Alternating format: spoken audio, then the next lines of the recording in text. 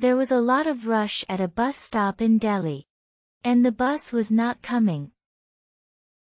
Meanwhile, there was a fight between two Aamis.